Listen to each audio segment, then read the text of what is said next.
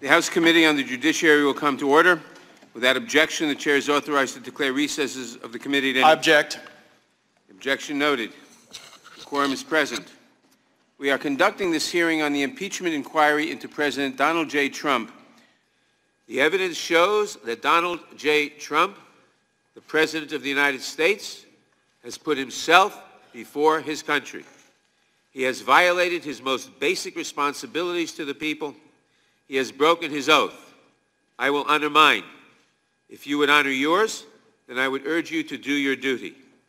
Let us, let us review the record here in full view of the American people, and let, and then let us move swiftly to defend our country. We promised that we would. The economy is good, job creation is up, military is strong, our country is safe. And the Judiciary Committee has been relegated to this. Why? Because they have the means, they have the motive, and they have the opportunity. And at the end of the day, all this is about is about a clock and a calendar because they can't get over the fact Donald Trump is President of the United States and they don't have a candidate that they think can beat him.